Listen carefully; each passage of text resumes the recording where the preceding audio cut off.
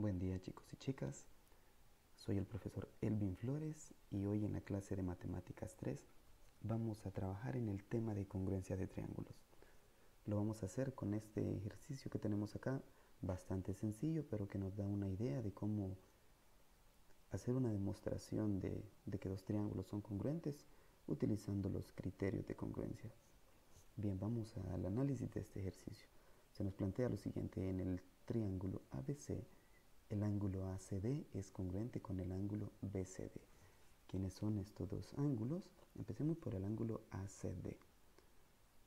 Se forma por los segmentos AC y el segmento CD. Así que el ángulo ACD es este que se forma aquí. Y como tenemos dos ángulos congruentes, el otro con el que es congruente ACD es el ángulo BCD. Es decir, el que se forma con los segmentos BC y el segmento CD. Entonces estamos hablando de estos dos ángulos que tenemos en la parte superior del triángulo. Como son congruentes, podemos colocar las respectivas marcas que denotan la congruencia. Con estas marcas recordemos que indicamos congruencia entre los dos ángulos de la parte superior en este caso y se nos pide demostrar que el segmento AD es congruente con el segmento DD, es decir, el segmento AD congruente con el segmento DB, es lo que debemos demostrar. A simple vista, pues lógicamente se ven congruentes, se ve que tienen la misma medida.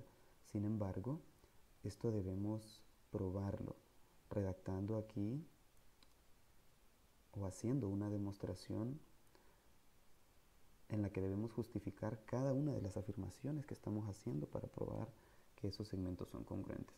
Bien, como estos dos segmentos forman parte de dos triángulos, lo que debemos hacer es probar que estos dos triángulos son congruentes. Porque si logramos probar que los dos triángulos son congruentes, entonces podemos decir que esos dos segmentos son congruentes, dado que son partes correspondientes de dos triángulos congruentes.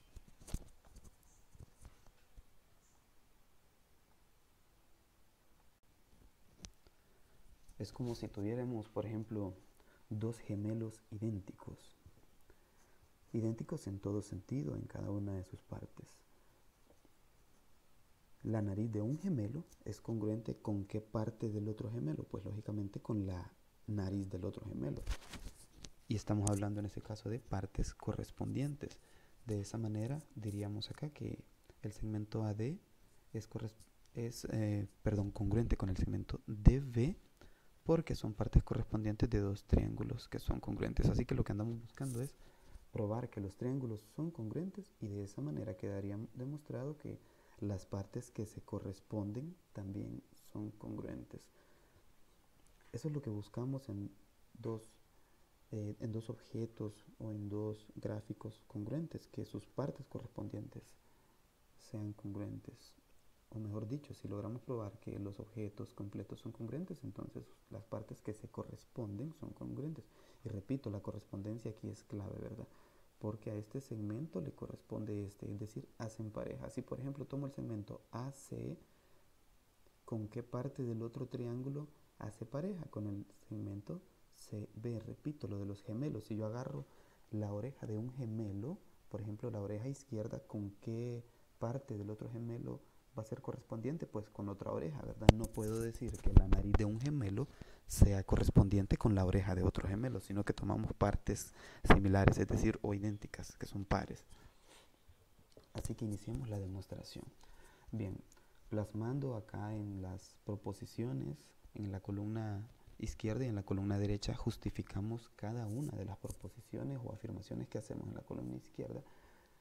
Haremos la demostración. Como primer como primer punto tendremos que el ángulo ACD es congruente con el ángulo BCD. ¿Cómo justificamos esta afirmación? Simplemente es un dato que ya nos da el ejercicio, es lo que tenemos justo aquí, información que ya nos da el ejercicio. Y con esta información que obtengamos, vamos a analizar cuál de estos criterios podemos utilizar. Estos son los tres criterios básicamente que nos permiten demostrar congruencia entre dos triángulos. Criterio lado-lado, lado-ángulo-lado y ángulo lado-ángulo. Veamos cuál de estos criterios podemos formar en este ejercicio. ¿Qué otra información se nos da en el ejercicio? Si nos fijamos aquí en este cuadradito, gráficamente el ejercicio nos indica que este ángulo es de 90 grados, es un ángulo recto. Eso es lo que indica el cuadrado, que es un ángulo recto, por lo tanto mide 90 grados. Es información que el ejercicio ya nos la da, en este caso en forma gráfica, por lo tanto lo podemos afirmar. El ángulo CDB mide 90 grados. Veamos ángulo CDB. Y es un dato que nos da el ejercicio en forma gráfica. ¿Qué otra información tenemos acá? Pues recordemos que si este ángulo, este ángulo grande, por decirlo así, que se forma aquí, es de 180 grados y este es de 90 grados, ¿de cuánto es este ángulo que está aquí? El ángulo CDA. Si la suma de estos dos es 180 y este mide 90, entonces este ángulo también debe ser de 90 grados. Estos dos ángulos se dice que son suplementarios. Dos ángulos son suplementarios cuando la suma de sus medidas es 180 grados, como en este caso 90 más 90 da 180 grados. De esa manera tengo que el ángulo CDA también mide 90 grados y al medir ambos 90 grados, pues tienen la misma medida, podemos decir que son congruentes. Entonces podemos afirmar esto, el ángulo CDB, es decir, este es congruente con el ángulo CDA, este ángulo que está acá. ¿Y cómo lo afirmamos? Pues el ángulo CDA es el suplemento del ángulo CDB. ¿Qué otra información necesito para poder probar congruencia? Si nos fijamos, tengo dos ángulos que conozco el criterio que más se aproxima en este momento es este que tengo acá, el criterio de ángulo, lado, ángulo. Lo único que me falta es afirmar que tengo dos lados congruentes. En este caso, si nos fijamos bien, el ángulo, el, perdón, el lado CD, este segmento es compartido por dos triángulos. Así que puedo afirmar sin ningún problema que el, lado o el segmento CD es congruente con el segmento DC. ¿Y cómo justifico eso? Pues simple y sencillamente estoy hablando del mismo segmento. O sea, todo segmento es congruente consigo mismo, es lo que puedo afirmar al hacer esta afirmación o proposición.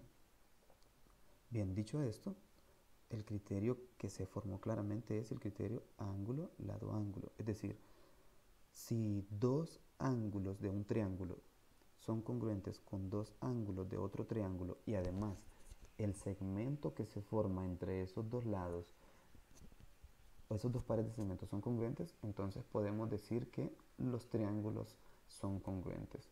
Así que finalmente podemos afirmar la congruencia entre los dos triángulos. Ángulo ADC, tomado de esta manera, ADC es congruente con el triángulo BDC. Observemos que el orden de las letras es, el orden de las letras es importante. Al vértice A se le hace corresponder el vértice B. Si nos fijamos, este ángulo que se forma aquí en A es congruente con el ángulo B. Ya hemos probado que son congruentes los triángulos, así que este ángulo le corresponde el ángulo B.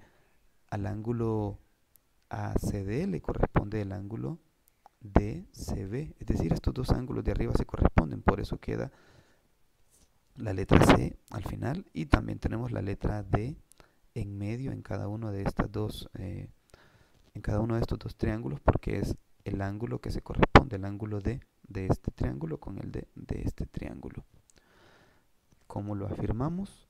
utilizando el criterio que acabamos de, afirmar que se formaba el criterio ángulo, lado, ángulo es el que nos permite afirmar que estos dos triángulos son congruentes. Y los numerales 1, 3, 4 porque nos ayudan a, formar el criterio. El numeral 1 nos habla de los, de los ángulos en la parte superior.